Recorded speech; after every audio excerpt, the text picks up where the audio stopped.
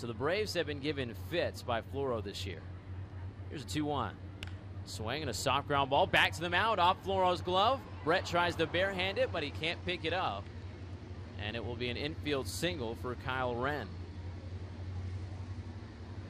Floro had a shot at it, but I think it was one of those times where he thought it was coming back at him a lot harder than it actually was. Deflected off the thumb of his mitt and that really slowed the ball down. And Brett